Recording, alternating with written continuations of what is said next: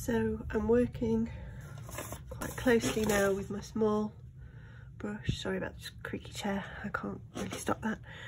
Um, I've got my small brush and I'm, I've got my photocopy of the work and I'm basically holding this up to me and just working bit by bit and just trying to follow what I'm seeing in section by section rather than it being overwhelming large image. It's actually quite hard to set this up just uh, so you can see everything. Uh, obviously, bad idea to have you paint over there because you just keep bringing it across and splattering it. So that's why my paint is at the bottom. I'm trying to show you the sort of colours that I'm going to use. I'm creating a deep dark brown really out of these two. If it doesn't feel strong enough, I'm going directly back into my paints to add a little bit more depth of colour.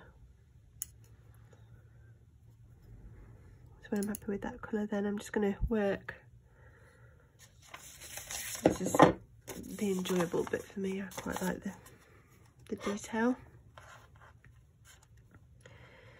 So I'm just going to start at the bottom and just think about the tones. Really deep dark, not much detail on there. That's that bit, so I haven't quite got the curve right. I'm just working down.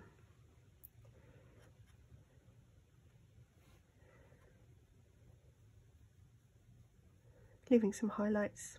A bit of artist's license is necessary because you're not going to be able to draw every individual feather don't expect to really. We're leaving these white, trying to leave some white edges and then you can tidy those up with white paint later.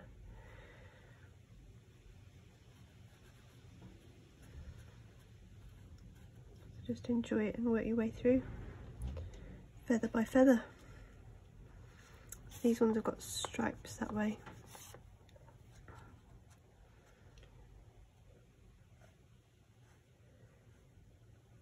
think of thick and thin of the brush marks.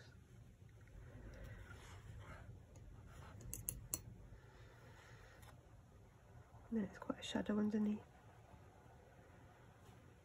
And then again, shadow underneath.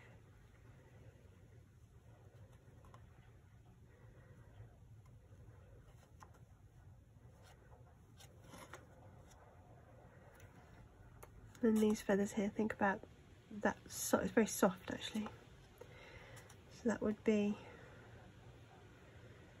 that's that. So up here somewhere we've got those. So there's a shadow underneath one, so we put shadow underneath there. So each one has a shadow underneath it. And then it's got a white line in the middle, which I think I'll probably put on afterwards. And then it's got a soft V, something like that.